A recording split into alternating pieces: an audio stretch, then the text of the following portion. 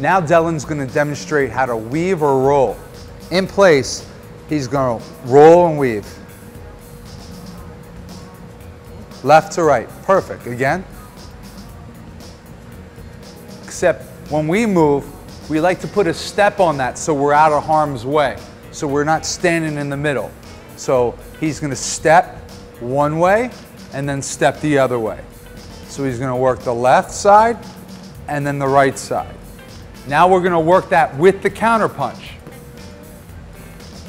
Roll, counter, roll, counter. Beautiful. Roll, counter, roll, counter. Now we're gonna add a one, two punch and then the roll and then the counter. One, two, roll, counter. One, two. When we do the other side, we add one more punch in the sequence. Three, roll, or let's take the body. Three. Nice. One more time.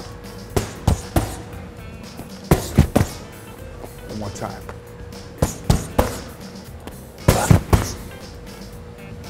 That's how you weave and roll.